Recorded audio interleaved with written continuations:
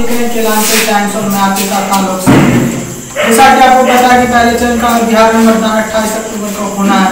ऐसे में सभी पार्टी के प्रत्याशी, निर्दलीय प्रत्याशी और सभी अपने अपने पूरी तरह से दमखम लगा रहे हैं, कैसे इस बार सत्ता पे काबिज हुआ जाए, कैसे इस बार विधानसभा पहुँचा जाए।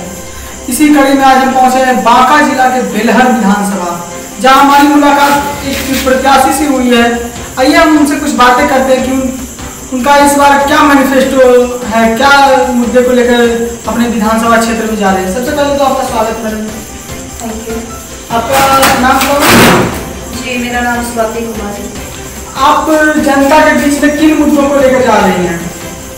जी देखिए अभी के टाइम में तो सबसे बड़ा मुद्दा जो है वो है रोज़गार शिक्षा। ये दो चीज़ें जो हैं वो बिहार में रोज़गार की बहुत ज़्यादा कमी है। लोग यहाँ से पलायन कर रहे हैं। चीज़ों को तो हमारा सबसे बड़ा जो मुद्दा है, वो है बिहार में रोज़गार को बढ़ावा देना और यहाँ से पलायन रोकना। जो बिहार में उद्योग सारे बंद पड़े हैं, बहुत सारे मिले हैं जो बंद पड़ी हैं, उनको फिर से खोलना और वहाँ पे उनको बढ़ावा देना और लोगों को रोज़गार मुहैया कराना। किस तरह आप रोज़गार मुहैया कराएँगी? जी, हम ये मोटो लेके चुनाव में उतरे हैं, इस रणभूमि में उतरे हैं कि हम जीत कर विधानसभा में जाते हैं और इन मुद्दों को उठाएँगे और मैं फ़िलहाल निर्दलीय प्रत्याशी हूँ, लेकिन प्लूरल्स पार्टी के द्वारा हमें सपोर्ट किया जा रहा है। अपने क्षेत्र के महिलाओं को मैं आगे लाने के लिए कोशिश करूँगी, उनको जो भी शिक्षित महिलाएँ नहीं हैं, सबसे पहले तो उनकी शिक्षा के लिए योगदान दूँगी।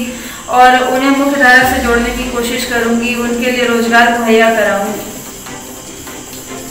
अगर आप रोज़गार मुहैया कराती हैं तो छोटे छोटे रोज़गार को जैसे अभी बढ़ावा दिया जा रहा है तो आप भी कुछ उस प्रकार की जी हाँ जैसे कि कुटीर उद्योग और लघु उद्योग जैसी चीज़ें होती हैं उनमें महिलाओं के लिए बहुत सारी योजनाएँ हैं जो कि महिलाओं के पहुँच तक नहीं है।